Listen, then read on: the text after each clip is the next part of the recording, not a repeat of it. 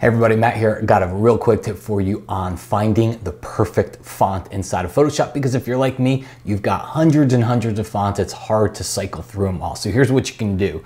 Once you create a type layer in Photoshop, uh, go over to your layers palette here and just double click on that little T icon. All right, that puts a, a, a highlight around the text.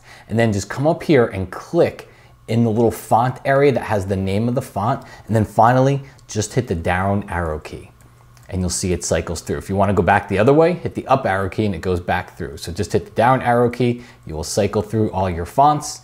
You wanna go back the other way, hit the up arrow key, and that way you can not only see you know, a preview of the font, which you can see up here in this menu, but you actually get to see a preview of what that font's gonna look like exactly on your document.